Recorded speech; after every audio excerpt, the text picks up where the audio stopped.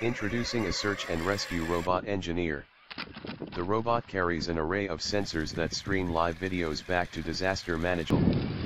The chassis of the robot is optimized for negotiating typical obstacles found in urban environments struck by a disaster. The robot is waterproof, dustproof, and is capable of working under rain and snow, in the heat and in the cold.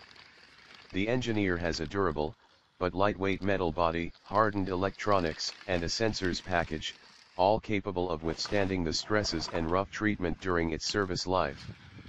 The robot climbs stairs, this allows it to penetrate buildings in disaster-hit areas for damage assessment. The small size of the robot enables it to easily traverse doorways and narrow passages either inside damaged buildings or outdoors. One of unique features of the robot is that it can raise its sensor head. This enables the operator to look inside windows of buildings or parked vehicles, and perform visual inspection of elevated objects. The robot is equipped with a robotic arm, optimized for performing potentially dangerous, but critically important engineering operations remotely, without putting humans in danger.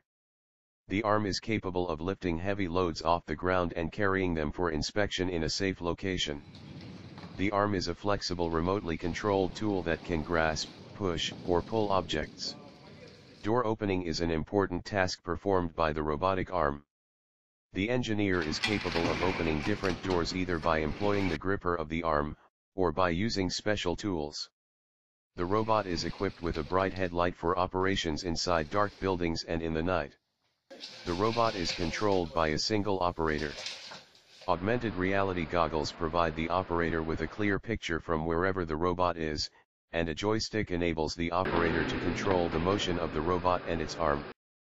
It usually takes less than a day for a new operator to master the process.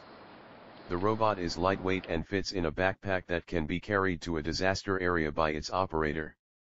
The engineer easily fits inside trunks of a regular passenger car. Thank you for watching. Please visit our website.